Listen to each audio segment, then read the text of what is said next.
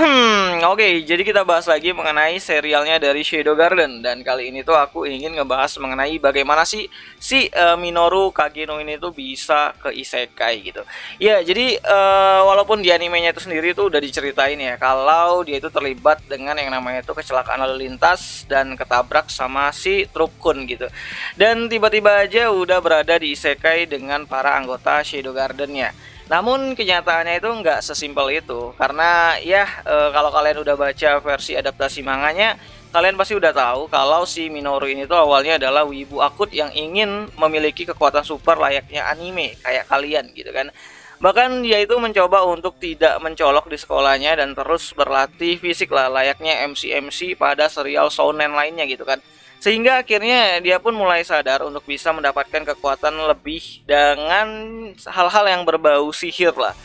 Tapi dia sadar bahwa sihir itu nggak ada di uh, dunianya atau di bumi gitu kan dan saat dia mulai terobsesi dengan yang namanya itu sihir, Minoru ini tuh melihat secerca cahaya harapan yang mana cahaya tersebut itu berasal dari lampu mobil truk gitu kan.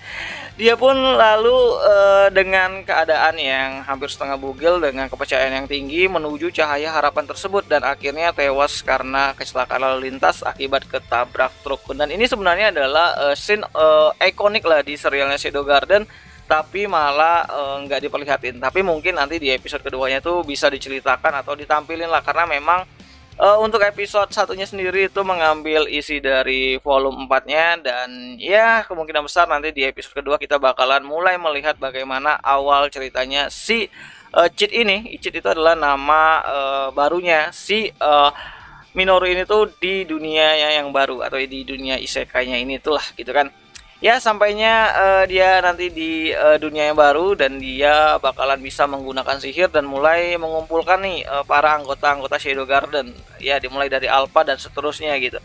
Dan dia bakalan jadi orang yang uh, sangat profesi dengan uh, kekuatan sihir yang lebih besar gitu. Jadi ini menarik banget jadi. Ya walaupun dia itu uh, tewasnya atau matinya ke isekainya itu ketabrak uh, trukun, tapi setidaknya ya bukan karena shock lah gitu kan akibat hampir ditabrak traktor gitu. Nah, kemungkinan besar nanti kita bakalan lihat si Cheat ini tuh bakalan mulai dari awal ya di episode 2 dan ini mulai dari awal dari dia kecil belajar sihir, belajar bela diri dan terlahir di keluarga yang baru dan mulai yang namanya itu kehidupannya sebagai ya pemimpin dari Shadow Garden gitu kan kalau malam-malam gitu.